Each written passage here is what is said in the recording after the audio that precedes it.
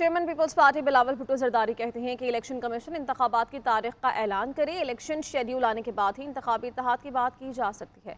और काड़ा में न्यूज़ कॉन्फ्रेंस करते हुए कहा कि चेयरमैन पीटीआई को बंद करने से मुल्की मसाइल हल नहीं होंगे। नवाज़ शरीफ की वापसी पीपल्स पार्टी का पुराना मुतालबा है। नून लीग को राजा रियाज और राजा रियाज को नून लीग मुबारक हो। तानियावाला में कारकुनों से खिताब में कहा कि जो कहते थे पीपल्स पार्टी ने पंजाब छोड़ दिया, उनकी गलत फहमी भी दूर करेंगे। पीपल्स पार्टी ही मुल्क को मसाइल से निकाल सकती है।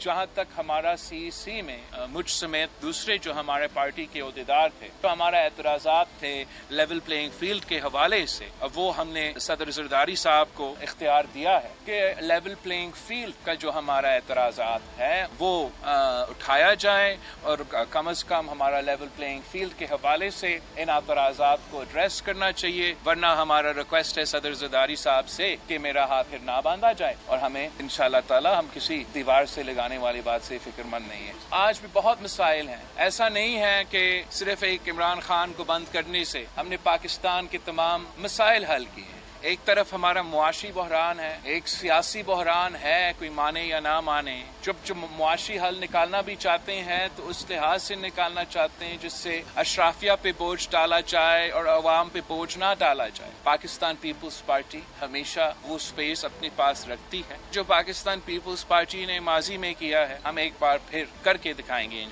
ताला।